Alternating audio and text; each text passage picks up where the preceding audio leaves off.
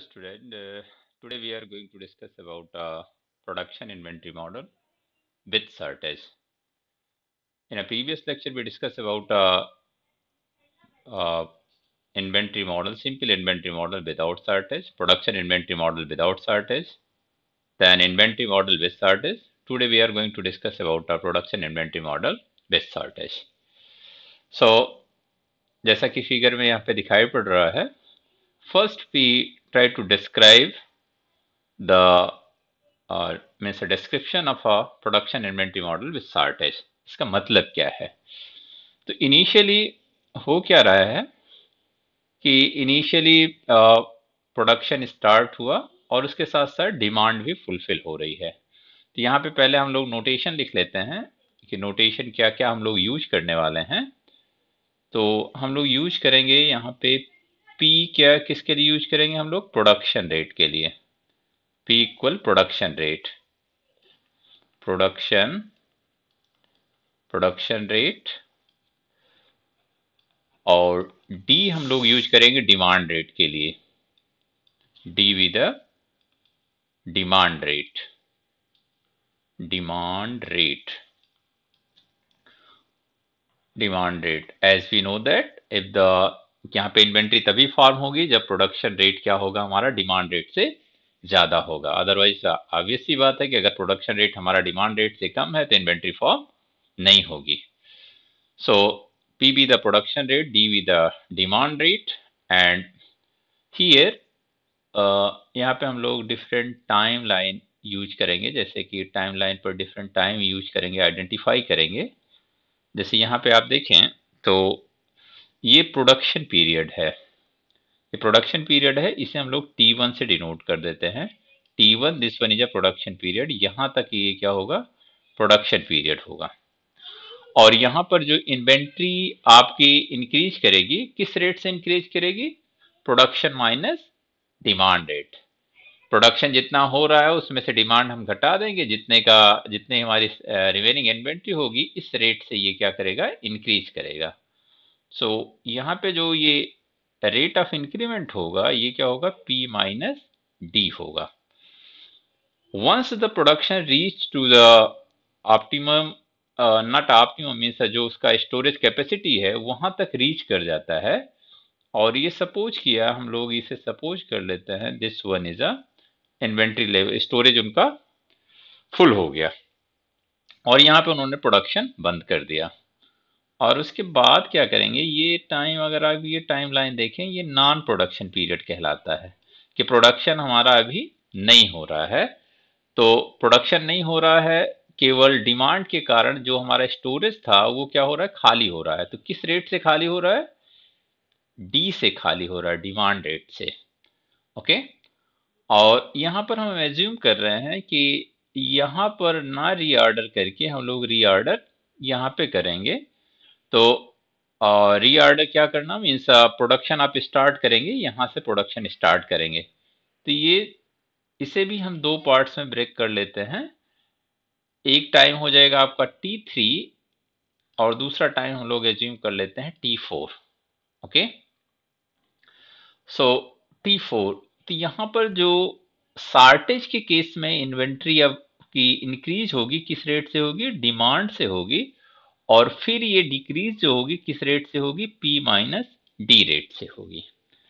P minus D rate से होगी। तो ये आपका overall means geometrical interpretation of a word geometrical interpretation of a production inventory model with अब यहाँ पर हम एज्यूम कर लेते हैं कि जो आपका मैक्सिमम इन्वेंट्री लेवल होगा ये मैक्सिमम इन्वेंट्री लेवल इसे हम लोग क्यू डैश कह लेते हैं Q one dash. Q one dash कह लेते हैं। और कितना हम लोग प्रोडक्शन करेंगे? प्रोडक्शन करेंगे, कितनी क्वांटिटी का प्रोडक्शन करेंगे प्रोडक्शन पीरियड में? अगर डिमांड नहीं होगी तो ये इस रेट से क्या करेगा? इंक्रीज करेगा। इस रेट से इंक्रीज करेगा। इस रेट से इंक्रीज करेगा और हम लोग एज्यूम कर लेते हैं कि अगर डिमांड नहीं होती तो टोटल क्वांटिटी हम कितनी प्रोड्यूस करते? सपोज़ किया Q1 क्वांटिटी हम लोग प्रोड्यूस करते और यहाँ पर मैं इसे मेंशन कर दे रहा हूँ और ये Q1 क्वांटिटी हम लोग प्रोड्यूस करेंगे और Q1 क्वांटिटी कितने टाइम में हम कंज्यूम कर ले रहे हैं?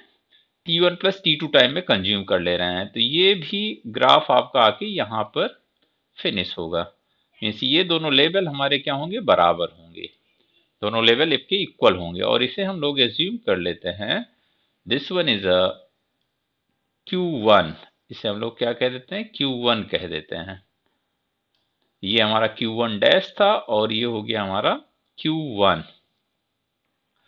और ये, इसे भी अगर हम लोग ग्राफिकली शो करना चाहें तो ये क्वांटिटी हमारी क्या हो गई? Q1 डैश हो गई, ठीक है? Q1 डैश हो गई। और यहाँ पर जो इन्वेंट्री लेवल है, इसको हम लोग Q2 डैश कह देते हैं, जो maximum shortage maximum shortage level होगा, उसे हम लोग कह देते हैं क्यू टू डैश इसे थोड़ा सा पी माइनस टी को यहाँ से हटा के या थोड़ा सा और अच्छा दिखे तो यहाँ से पी माइनस टी में अभी फ़र्स्ट टाइम बीइंग हटा देता हूँ, और यहाँ पे इस लेवल को, इस लेवल को, इस लेवल को हम लोग कह देते हैं this level is a what this level is a Q two dash Q two dash Q two dash और कितने का शार्टेज हो रहा है, ये हम लोग Q2 डैश और उसको हम लोग डिनोट कर देते हैं किससे?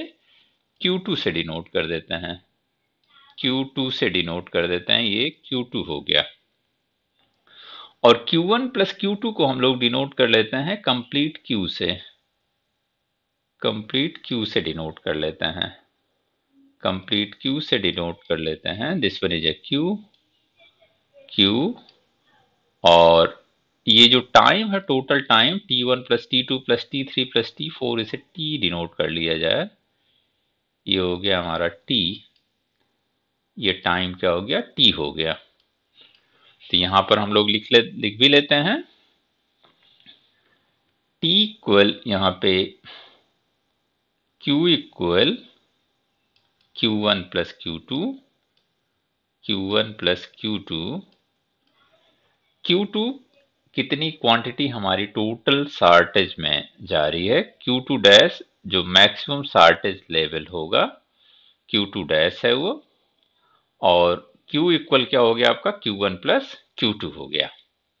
Now here T1 one plus T2 आपका बेसिकली T1 प्रोडक्शन टाइम है T2 आपका नॉन प्रोडक्शन टाइम है। T1 again non production time है शार्टेज के केस में T sorry T3 production time है नॉन प्रोडक्शन टाइम है शार्टेज के केस में T4 टाइम में हम प्रोडक्शन कर रहे हैं। So this one is a Q two dash और ये आपका लेवल हो जाएगा अगर इसी को आप यहाँ से प्रोडक्शन के केस में अगर हम रिवर्स इंजीनियरिंग करें तो ये क्या हो जाएगा आपका? ये आपका हो गया Q2 ये आपका हो गया Q2 ठीक है? और इसी तरह अगर आप डिमांड केवल डिमांड के केस में यहाँ तक हम आते तो वो भी आपका सेम केस हो जाता। सो क्यू इक्वल क्या हो गया आपका? Q one plus Q two और टी इक्वल हो गया आपका टी इक्वल हो गया T one plus T two plus T three plus T four okay and और इसे अगर हम लोग नामन क्लेचर भी दे दें, और नामन क्लेचर दे दें, इसका नाम दे दें suppose this one is a origin point with the A and this point with the B and here we write a P this one is a P and इस लेवल को यहाँ पर इस रेक्टेंगल को हम लोग कह रहे हैं सॉरी नट ट्रायंगल को हम लोग कह रहे हैं P Q R P Q R ये नाम दे दिया गया।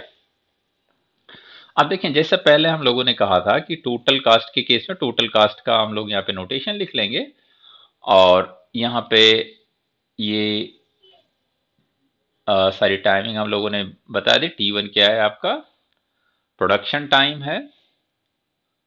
ड्यूरिंग द जब हम इन्वेंट्री स्टोर कर रहे हैं और T four is also a production time जब सार्टेज से हम सार्टेज को रिमूव कर रहे हैं। T two non production time है T three is also non production time है।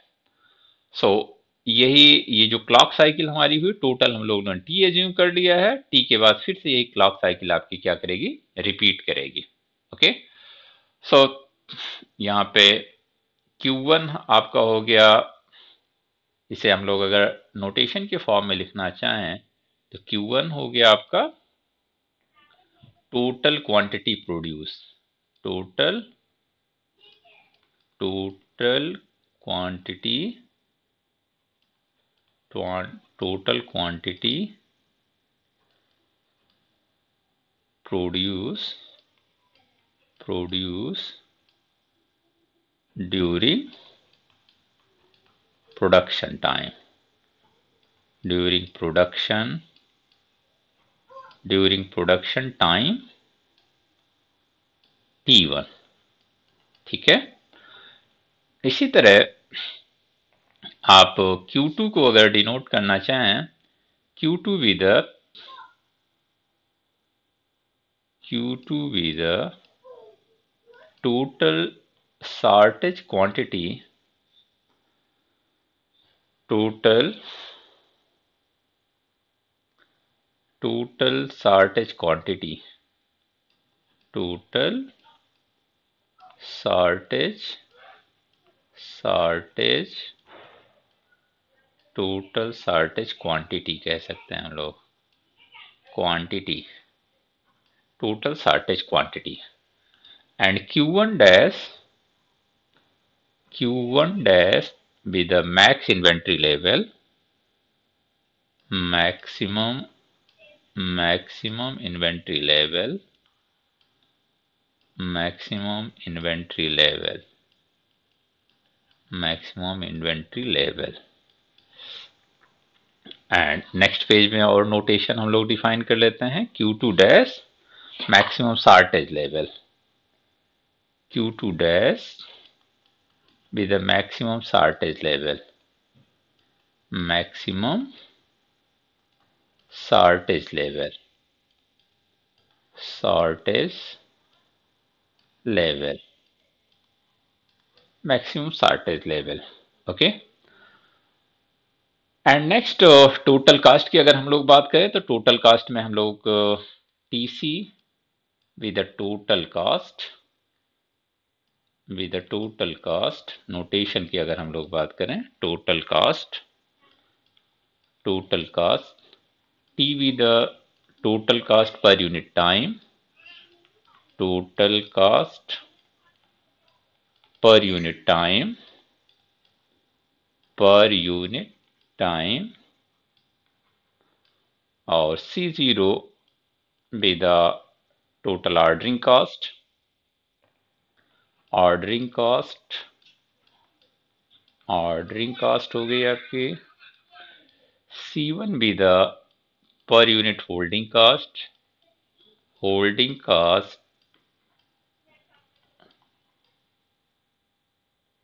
per unit per unit and C2 be the shortage cost per unit. Shortage cost per unit. Cost per unit. So these are the standard notation that we are going to use for the mathematical formulation of a this production inventory model with shortage. So जैसा मैंने पहले भी कहा था कि total cast में हम लोग क्या क्या इंक्लूड करते हैं total cost means total cost equal total ordering cost ordering cost ordering cost plus total holding cost holding cost plus total shortage cost shortage cost और अगर इसे हम नोटेशन के फॉर्म में लिखना चाहें तो देखें हम लोग कैसे लिख पाएँगे? इसे नोटेशन के फॉर्म में लिखना है। नेक्स्ट पेज में हम लोग लिख देते हैं। टोटल कास्ट का नोटेशन क्या है हमारा? टोटल कास्ट का नोटेशन है हमारा T C T C be the notation for the total cost and C zero be the notation for the ordering cost and C one with notation for the per unit holding cost and here we write a average inventory average inventory average inventory inventory here plus C2 C2 average number of a shortage average inventory during shortage लिख सकते हैं हम लोग average average inventory inventory inventory during shortage During shortage shortage during shortage अब आप देखिए यहाँ पे टोटल कॉस्ट आपकी हो गई T C equal C zero plus C one what is the average inventory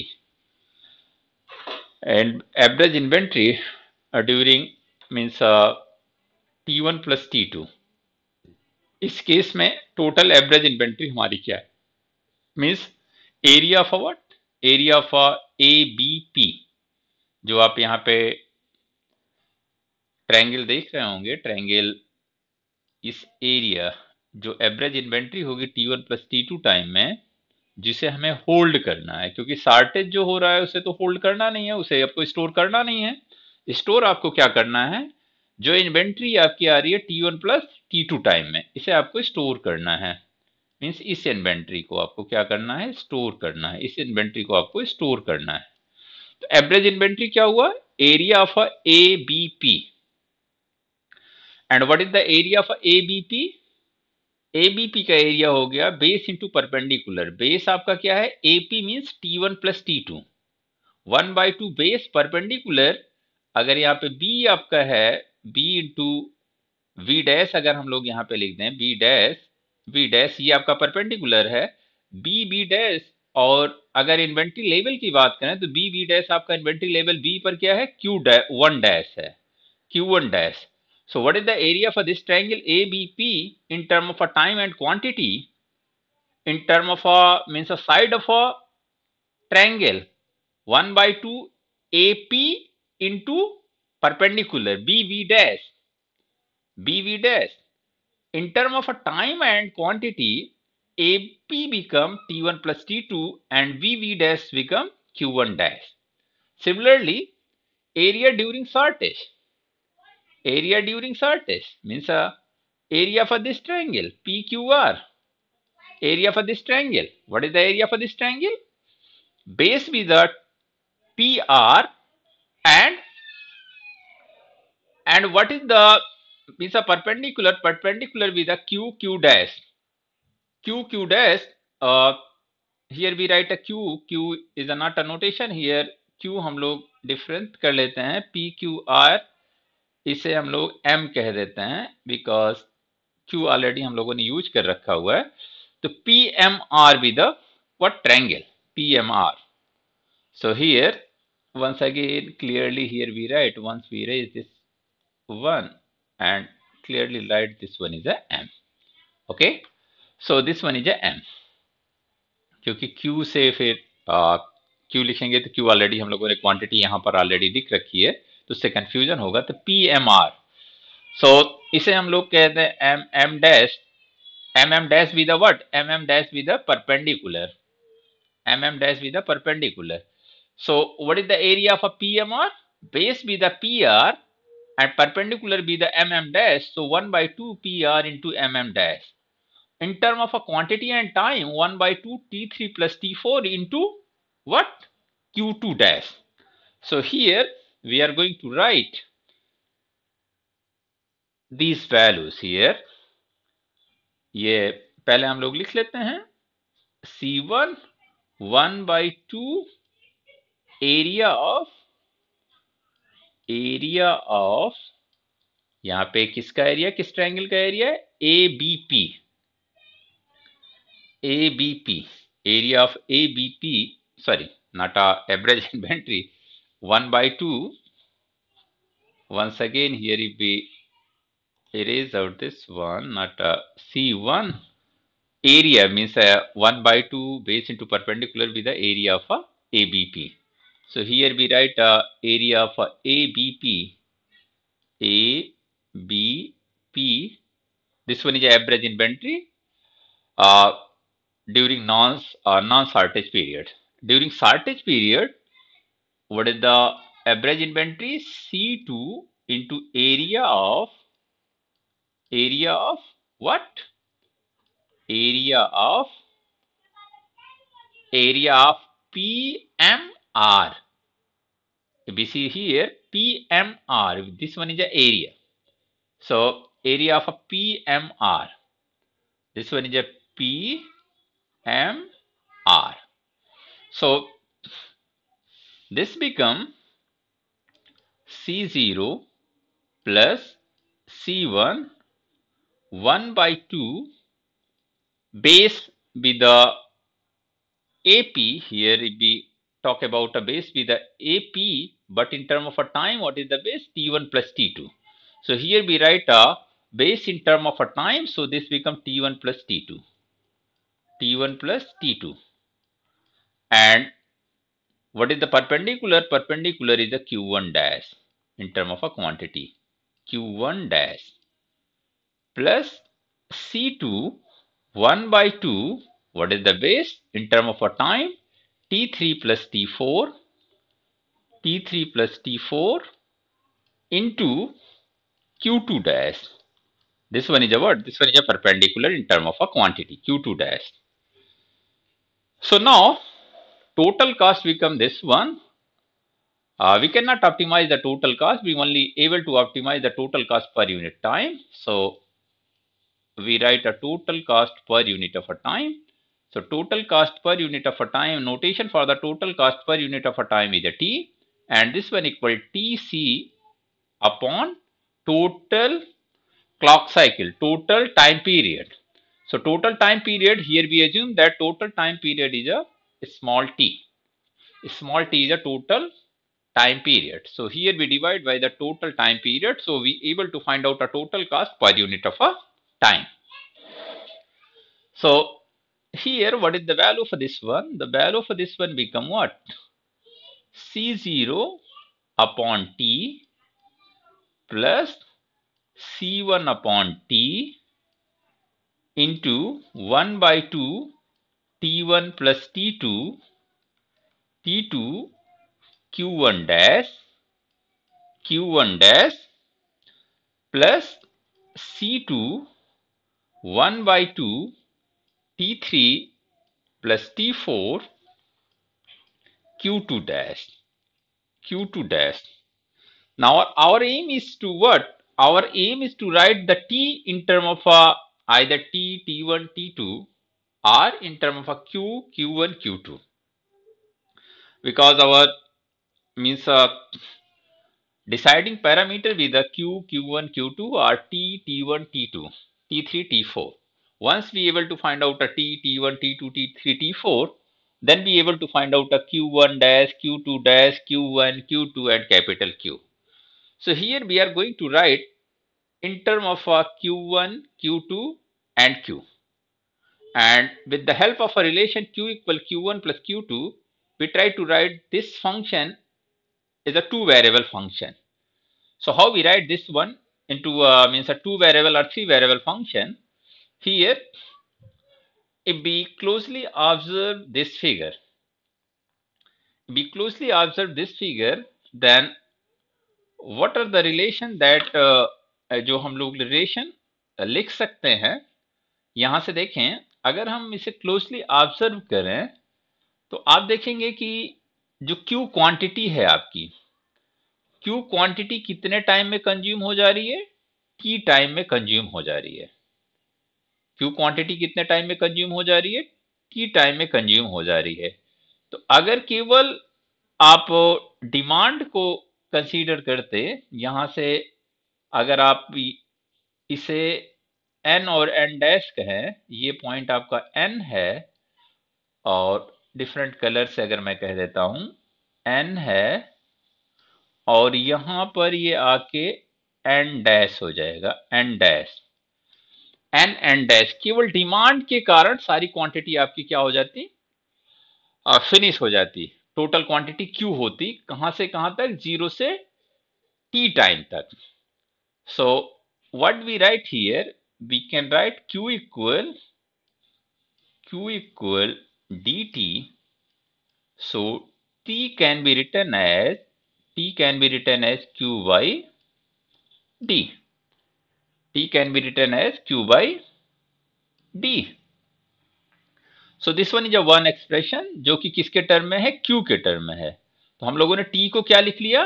Q के टर्म में लिख लिया। अब आप देखें यहाँ पर T one plus T two time में Q one quantity Q one quantity कहाँ तक है आपकी? Q one quantity this one is a Q one quantity maximum inventory level आपका क्यू वन है। क्यू वन क्वांटिटी कब डिप्लीट हो रही जा रही है ज़ीरो पर T one plus T two time पर। तो इसे हम लोग लिख सकते हैं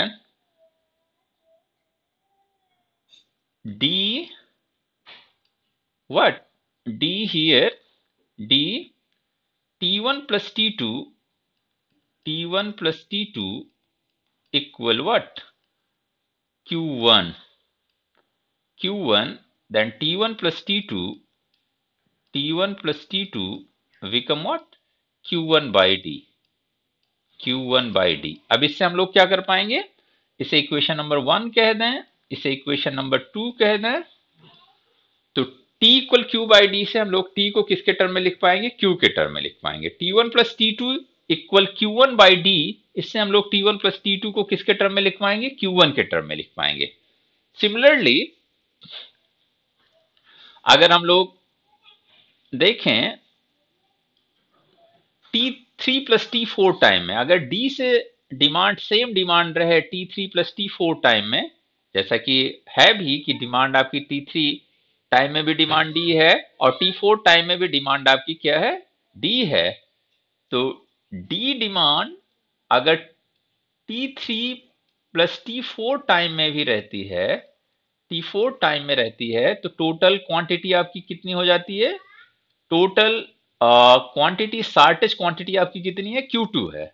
तो T3 प्लस टी फोर आपका क्या हो जाएगा? T3 plus T four equal हो जाएगा आपका Q2 टू बाई डी इसे हम लोग इक्वेशन नंबर थ्री कह देते हैं। इक्वेशन नंबर थ्री की हेल्प से हम लोग क्या रिप्लेस कर पाएँगे? T three plus T four को किसके टर्म में लिख पाएँगे? Q2 के टर्म में लिख पाएँगे। अब आप देखें अब आपके पास बचा क्या है, जिससे को आपको Q1 और Q2 के टर्म में लिखना है? अब आप T1 प्लस टी को लिख पाएँगे Q1 Q2 Q1 के टर्म में, और T3 प्लस टी को भी लिख पाएँगे Q2 के टर्म में। T को लिख पाएँगे आप Q के टर्म में। अब आपके पास है Q1 dash and Q2 dash how we write the a Q1 dash and Q2 dash in term of a Q1 and Q2 so, here, if we closely observe here what is the value of a q1 dash in term of a q? तो यहाँ से देखिए, अगर केवल production हो demand ना हो तो टोटल कितनी क्वांटिटी हम प्रोड्यूस करेंगे? Q1 क्वांटिटी प्रोड्यूस करेंगे। तो यहाँ पे लिखने पे तो चलिए यहीं पर लिख देता हूँ मैं। तो यहाँ पर अगर आप लिखें तो P quantity production rate T1 time में कितनी क्वांटिटी आप प्रोड्यूस कर रहे हैं? Q1 क्वांटिटी प्रोड्यूस कर रहे हैं। तो टी वन इक्वल क्या हो गया आपका? क्यू वन बाई पी हो गया आपका। क्यू वन बाई पी हो गया। और टी वन टाइम में पी माइनस डी रेट से आप क्या प्रोड्यूस कर पा रहे हैं? Q one sorry T one time में पी माइनस डी रेट से आप क्या प्रोड्यूस कर पा रहे हैं? टी वन टाइम में Q one dash Q one dash तो अगर इसे इक्वेशन नंबर फोर कहा जाए, इसे इक्वेशन नंबर फाइव कहा जाए तो फोर और फाइव से देखें टी वन की वैल्यू अगर हम लोग पुट कर दें Q one by P four से टी वन इक्वल क्या है आपका? क्यू वन बाई पी और P minus D T one equal क्या है आपका? Q one dash maximum inventory level तो T वन की वैल्यू अगर हम लोग Q one by P put कर दें तो Q वन डैश क्या हो जाएगा? P minus D upon P और इसी तरह इसी तरह यहाँ पर हम लोग लिख लेते हैं, इसी तरह अगर आप किसके लिए लिखना चाहें? Q2 डैश के लिए लिखना चाहें। तो Q2 डैश के लिए भी आप क्या कर सकते हैं? लिख सकते हैं। तो Q2 डैश के लिए भी आपका क्या हो जाएगा? Q2 डैश के लिए हो जाएगा आपका T4 इक्वल T4 इक्वल हो जाएगा T4 equal Q2 by Q two by what Q two by P और T4 इक्वल हो जाएगा आपका Q2 dash upon P minus D तो यहाँ से आप लोग क्या लिख सकते हैं यहाँ से? यहाँ से हम लोग लिख सकते हैं Q2 डैश इक्वल T4 की वैल्यू आप यहाँ पे पुट कर दें तो Q2 डैश इक्वल हो जाएगा आपका Q2 P minus D upon P Q two okay अब यहाँ से इन वैल्यूज़ को हम वहाँ पर एक बार फिर से लिख लेते हैं, ठीक है? जिससे कोई कंफ्यूजन ना हो। तो यहाँ पर हम लोग फिर से लिख लेते हैं। यहाँ पर क्या? नेक्स्ट पेज में हम लोग लिख लेते हैं। नेक्स्ट पेज में लिख लेते हैं तो थोड़ा सा आगे डेरिवेशन करने में आसानी होगी। तो डिफरेंट कलर से हम लोग लिख लेते हैं। टी इक्वल हो गया आपका। T equal Q by D Q by D यहाँ पे ब्रैकेट में एक्सप्लेनेशन के लिए लिख लेते हैं हम लोग। Since since D T equal D T equal Q ये हम लोगों ने लिख लिया। ठीक है?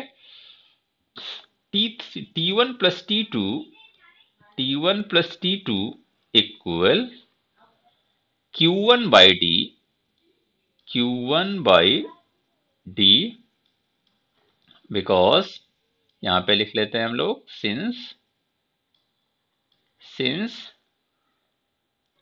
डी अगर डिमांड रहे T1 प्लस टी टाइम में तो Q1 क्वांटिटी हमारी क्या होगी? कंज्यूम हो जाएगी। Q1 क्वांटिटी हमारी कंज्यूम हो जाएगी।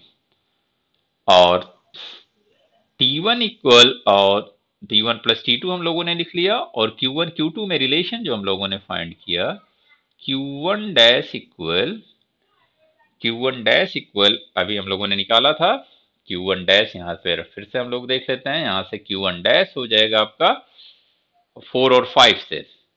Q one dash equal P minus T upon P Q one so Q one dash equal P minus D upon P Q one ये लिख लिया आपने।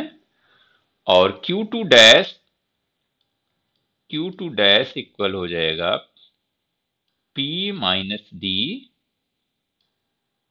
upon P Q2 Q2 यहाँ पर अगर आप लिखना चाहें तो लिख भी सकते हैं since since T1 equal T one or इस तरह हम लोग लिख लें since since P minus D P minus D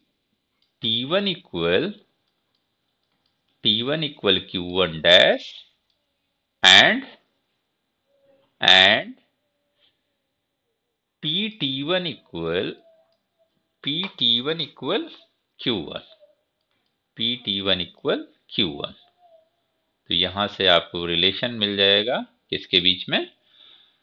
Q1 one dash और Q के बीच में। और यहाँ पर अगर लिखना चाहें हम लोग तो यहाँ भी लिख सकते हैं since since P T four P T four equal Q two and P minus D, P minus D T4 equal Q2 dash Q2 dash तो T4 की वैल्यू आप पुट कर देंगे Q2 by four Q2 by P तो इस तरह आपको relation मिल जाएगा। और जैसा मैंने आपसे कहा कि इसे अगर इक्वेशन नंबर आप देना चाहें तो यहाँ से हम लोग इक्वेशन नंबर लिख लेते हैं। इसे इक्वेशन नंबर अगर टोटल कास्ट को हम लोग इक्वेशन नंबर वन कहें टोटल कास्ट को इक्वेशन नंबर वन कहें, इसे इक्वेशन नंबर वन हम लोग कहें, और नेक्स्ट को हम लोग इक्वेशन नंबर टू कहें this one is equation number two this one is equation number three equation number 4 and equation number 5. So, what will happen here? Be uh, in equation 1 में आप देखें t को हम लोग लिख ले रहे हैं q के टर्म में। T को q के टर्म में। T1 प्लस टी टू को हम लोग q1 के टर्म में लिख रहे हैं। Q1 डैश को भी q और q1 के टर्म में लिख रहे हैं। Q2 डैश को भी हम q1 और q के टर्म में लिख रहे हैं। T three plus T four को भी हम क्यू टू के टर्म में लिख रहे हैं। तो सारी वैल्यूज़ हमारी किसके टर्म में आ जा रही है? Q Q one at Q two तो ये थ्री वेरिएबल फ़ंक्शन बन रहा है। इसको हम टू वेरिएबल फ़ंक्शन में कन्वर्ट कर सकते हैं because we know that what is the value of a Q Q equal हम लोगों ने एज्यूम किया है Q one plus Q two this one is equation number six अगर हम लोग कह रहे हैं। तो थ्री वेरिएबल फ़ंक्शन को हम किसमें कन्वर्ट कर पाएँगे? टू वेरिएबल फ़ंक्शन में कन्वर्ट कर पाएँगे with the help of a word with the help of a Q equal Q one plus Q two चलिए अब हम लोग कर लेते हैं। अब हम लोग इक्वेशन वन में T T one plus T two Q one dash Q two dash और क्यू की वैल्यूज़ बाद में हम लोग किसी एक वेरिएबल को या इधर क्यू वन को क्यू टू के टर्म में लिख लेंगे या क्यू टू और क्यू के टर्म में लिख लेंगे या क्यू टू को क्यू और क्यू वन के टर्म में लिख लेंगे हम लोग। चलिए फास्ट हम लोग करते हैं। नाउ इक्वेशन फ़र्स्ट को फिर से एक बार लिख लेते हैं, उसके बाद हम लोग उसमें वैल्यूज़ पुट कर लेते हैं। तो total cost T be the C zero by T हो गया आपका C zero by T plus C one by T into one by two 1 by 2 t1 plus t2 q1 dash plus c2 by t 1 by 2 t3 plus t4 t3 plus t4 q2 dash q2 dash. चलिए इनकी values put कर लेते हैं। यहाँ से देखें T equal क्या है आपका? D Q by D Q by D तो क्यू बाई डी तो ये हो जाएगा T equal T equal C zero D upon Q second one हो जाएगा C one C one D upon Q because here we put the value of a T equal what Q by D C one D upon Q into one by two what is the value of a t1 plus t2 t1 plus t2 की value क्या है हमारी? Q1 by d. Here, so this one is a what? This one is a q1 by d. Q1 by d. Q1 by d और q1 dash की value है हमारी p minus D upon p into Q one यहाँ से देख लें आप। P minus D upon p into Q one Q one ये वैल्यू होगी क्यू वन डैश की। और इसी तरह थर्ड टर्म में हम लोग लिख लेते हैं सी टू टी की वैल्यू डी तो this become C two D upon Q one by T3 three plus T की वैल्यू है आपकी Q2 Q2 by D and Q two dash की वैल्यू है आपकी P minus D upon P into Q two Q two so these are the values with the help of what with the help of a we put with the help of a two three four five and six here यहाँ पर हम लोगों ने लिखा नहीं, एक T3 plus T4 भी है तो T3 plus T4 equal what?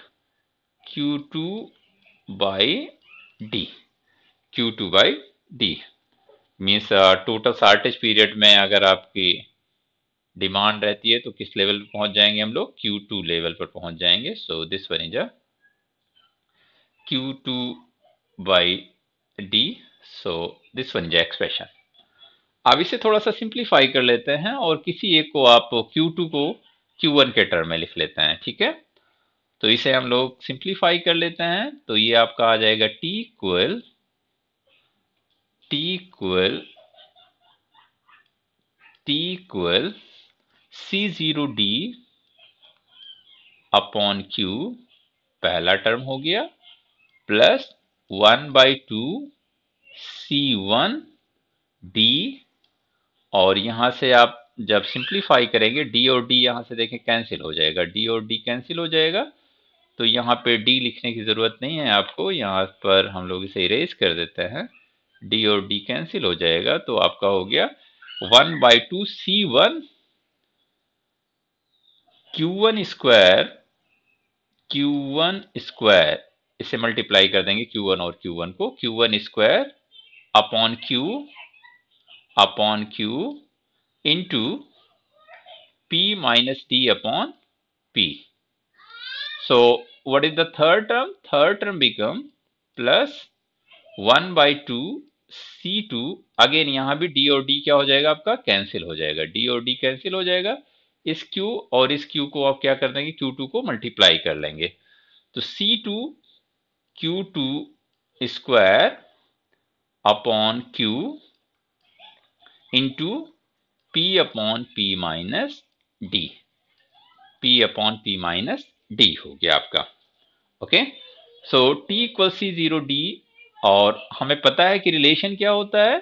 Q equal Q one plus Q two तो इसे हम अभी यहाँ पर यहाँ पर अगर आप क्लोजली ऑब्ज़र्व करें तो T सी ज़ीरो कॉन्स्टेंट है, D कॉन्स्टेंट है, Q with decision parameter q1 be the decision parameter and q2 be the decision parameter so how many number of a decision parameter there are three decision parameters तो इसको two decision parameter में convert करने के लिए हम लोग use कर लेंगे q q2 equal q minus Q one Q minus Q one इसका यूज़ कर लेंगे जो भी पिछला हमने इक्वेशन हम लोगों ने लिखा था और इससे हम लोग लिख लेंगे t is a function of what q and q1 q and q1 this become what?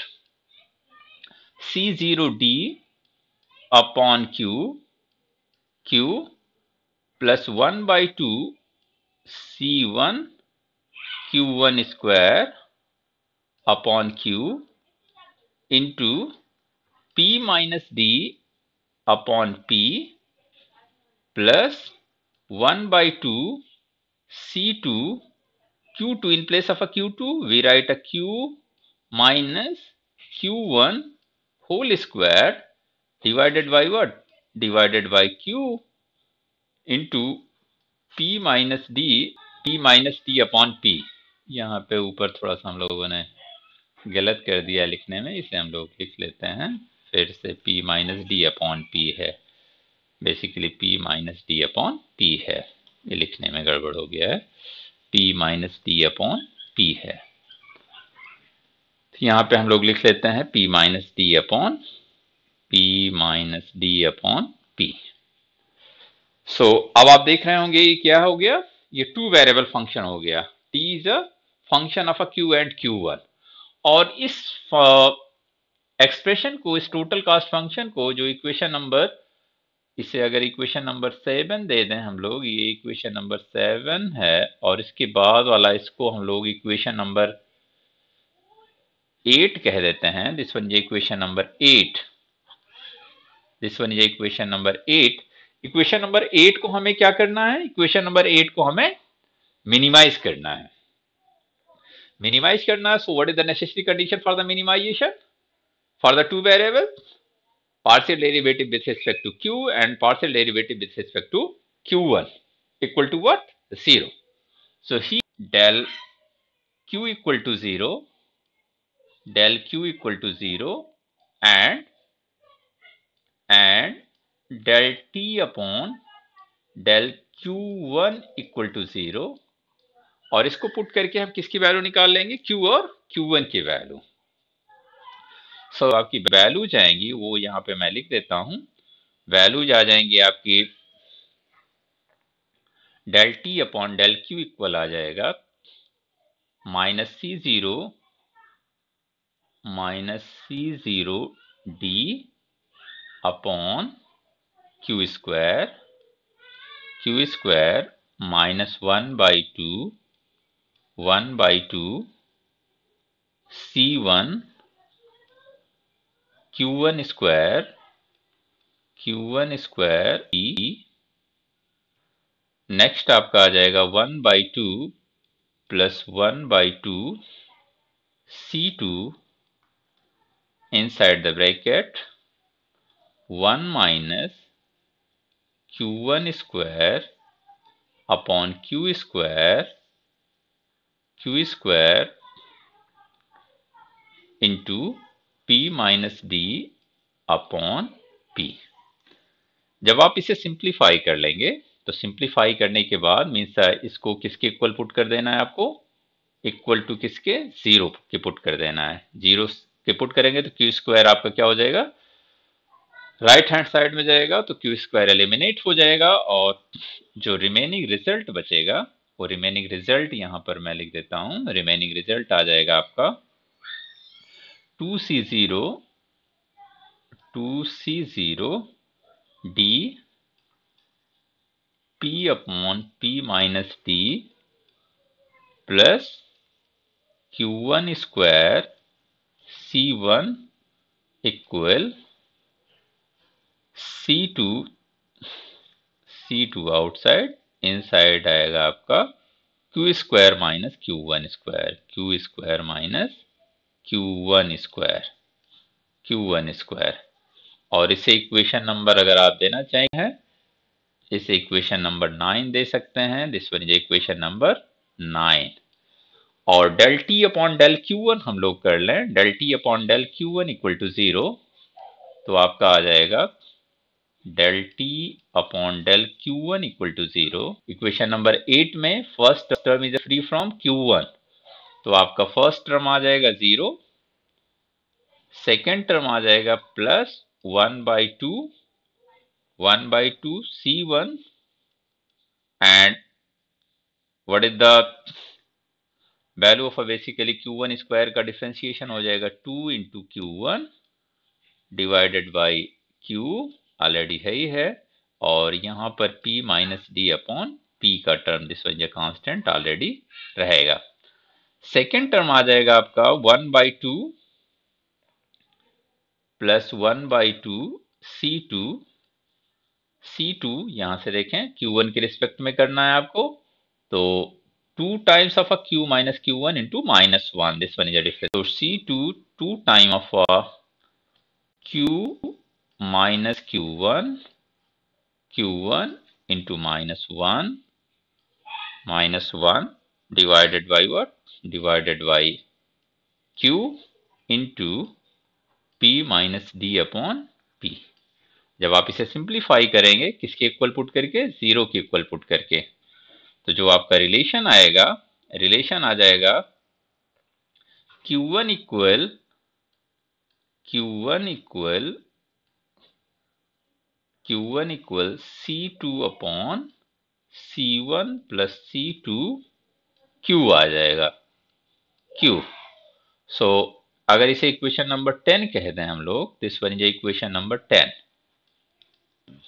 so equation ten से क्यू वन की वैल्यू इक्वेशन नंबर नाइन में पुट कर दें हम लोग।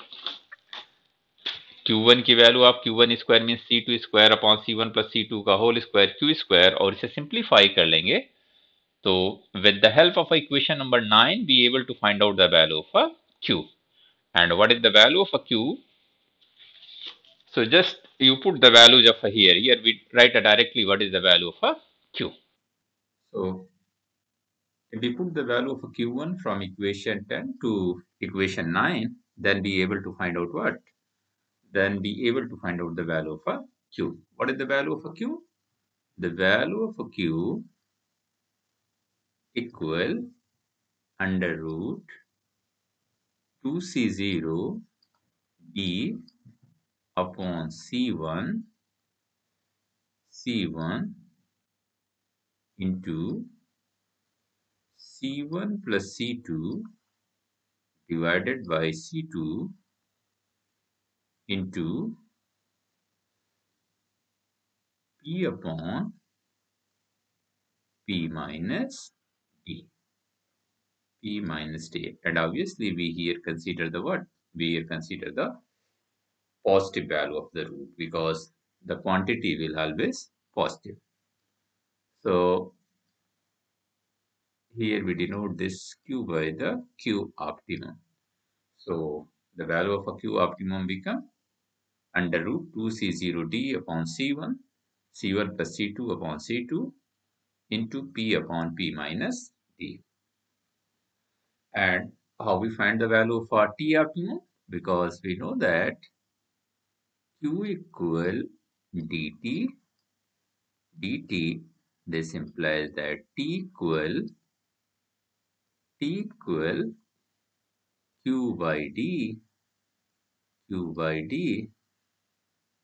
then t optimum equal q optimum upon d. So just we put the value of a q optimum and simplify this one then we find the value of a t optimum. So t optimum equal 1 upon d under root under root 2c0 d upon c1 into c1 plus c2 divided by c2 into into what into p upon p minus d p upon p minus d this one. So uh, if d goes inside the root means the root ke andar jab jayega then it's become what? Then it's become d square and d square numerator d cancel out.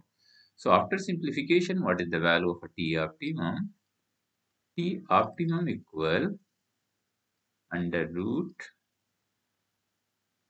under root 2c0 2c0 upon c1d C1 plus C2 upon C2 into P upon P minus D P upon P minus D. So we need to remember this one हमें इसे याद रखना होगा to solve a numerical problem. And what is the value of a Q1 optimum? In the next page we write the value of a Q1 optimum. So Q1 optimum uh, from equation 9 we sorry we from equation 10 be able to write the value a relation between q1 and q so q1 equal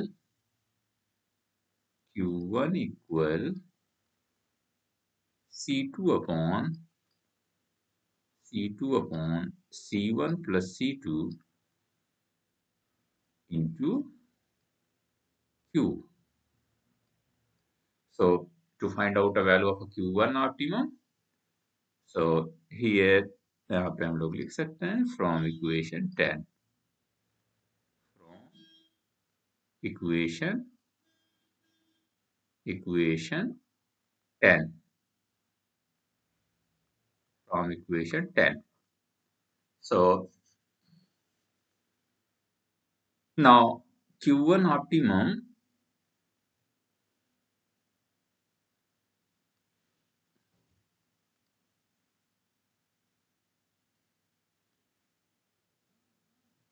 Q1 optimum equal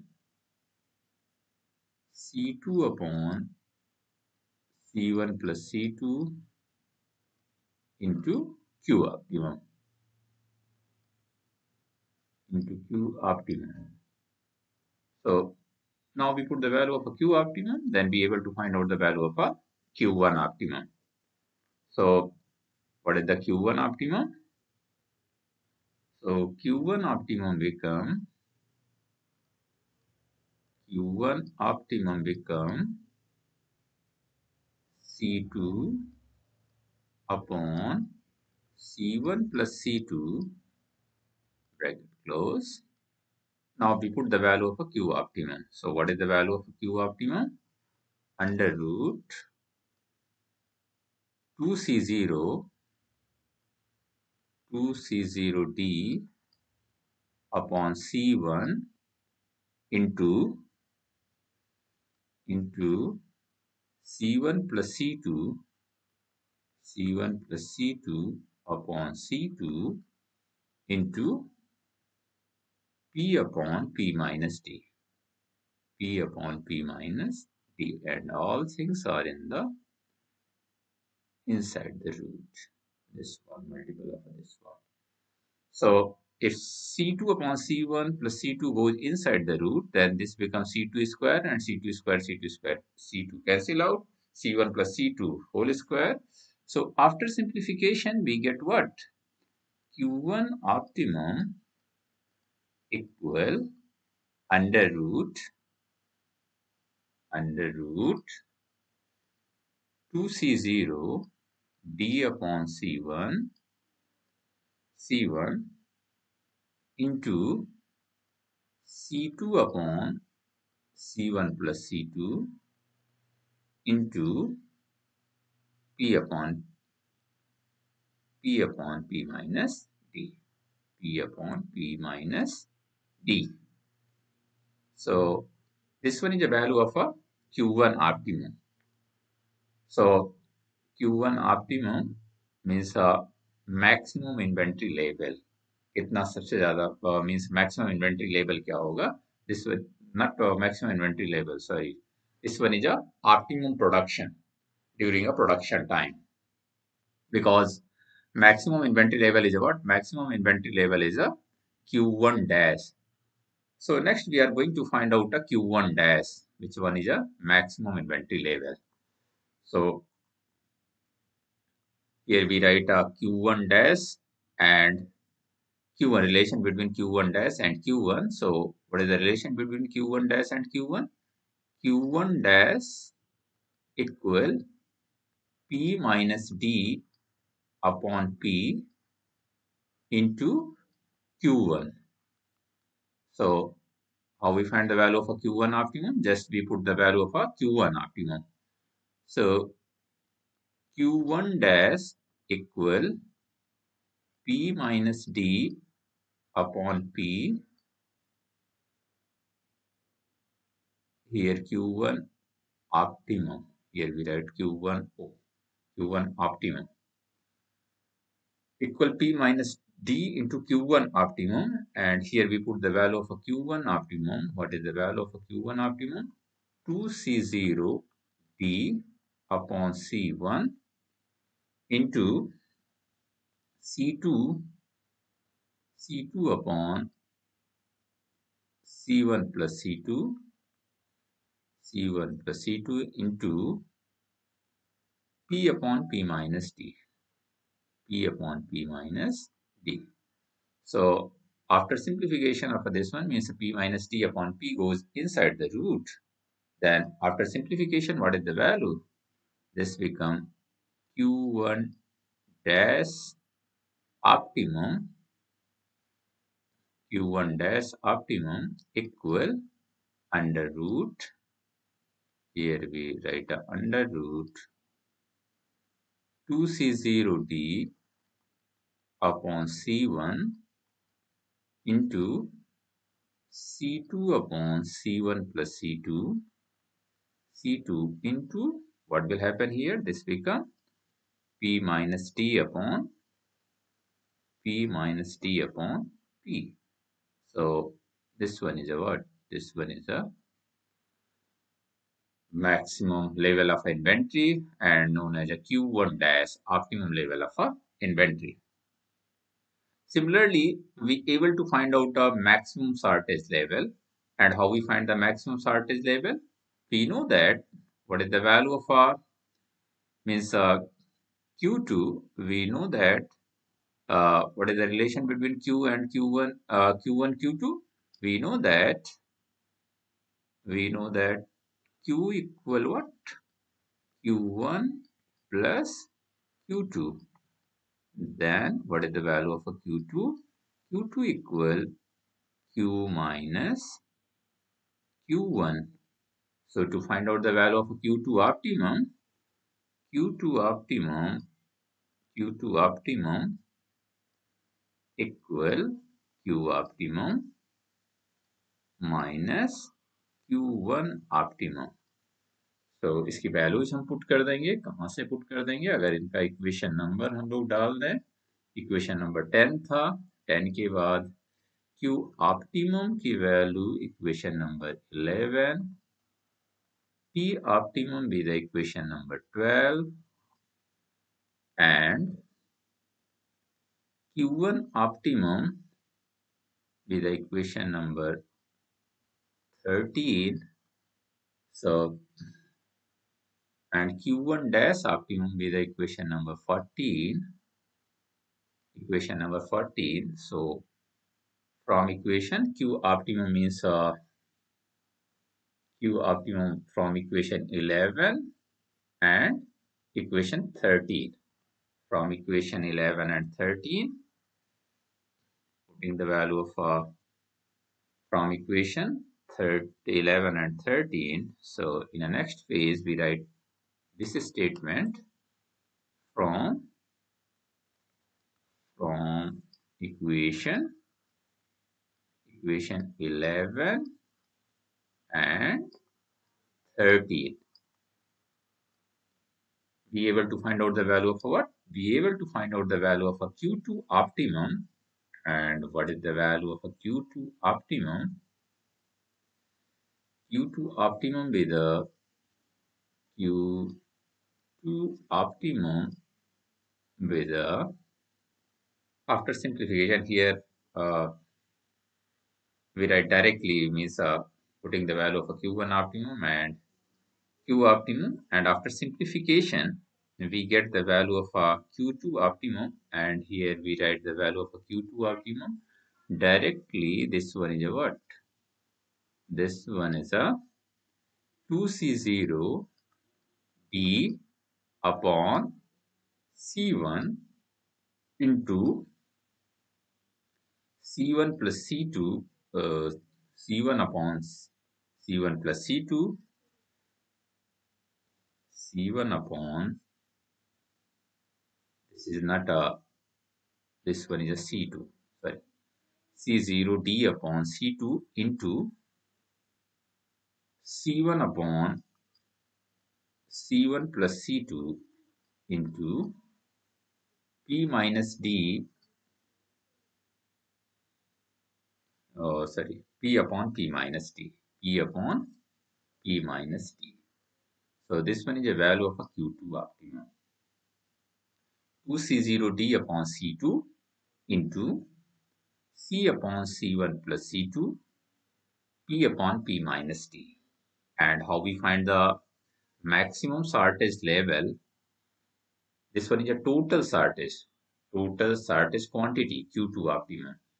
And maximum shortage level be the q2 dash and what is the relation between q2 dash and q2 q2 dash equal q2 dash equal p minus d upon p into q2 so just we put the value of a q2 so we find the value of a q2 optimum q2 dash optimum equal P minus D upon P into Q2 optimum. So just put the value of a Q2 optimum. So this becomes 2C0D upon C2 into C1 upon C1 plus C2 into P upon P minus P. P upon P minus D. So this one is a value of our, this one is a value of a Q2 optimum. So Q2 optimum. So if uh, so this one is a what? This one is a value of uh, a Q2 optimum. So Q2 optimum this become Q2 dash optimum P minus T upon P.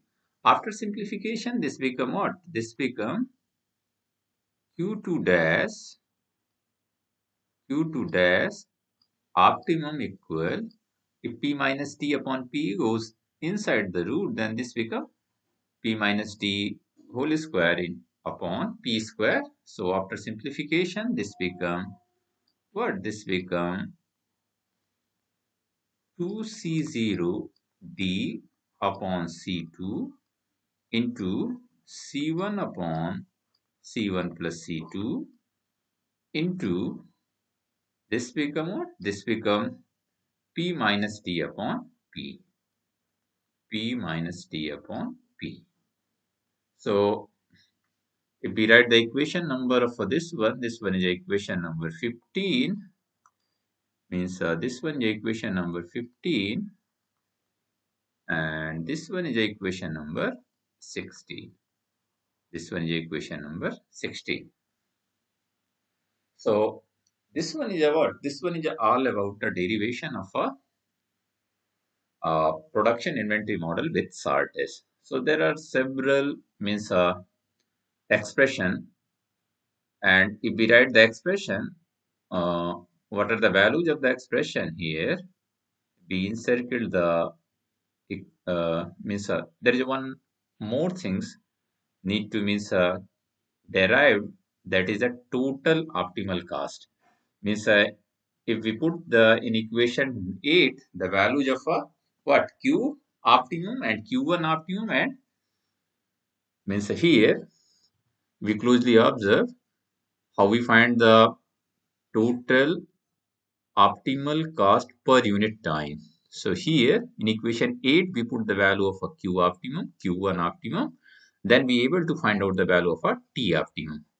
So once here we write the value of a uh, T optimum. So what we get the value for t optimum. So what is the value for t total T optimum per unit time means optimum total cost per unit of time here after simplification, this become what?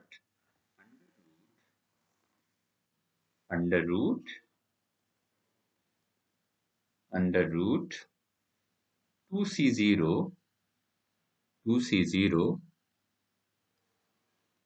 C1D into into C2 upon C1 plus C2 into P upon P minus D. So, if we write this equation as equation number 17, equation number 17. So, maybe and rectangle these means highlight these formulae so we need to remember this formula. Means the value of t optimum. We need to find out the value of a maximum level of a shortage maximum level of a shortage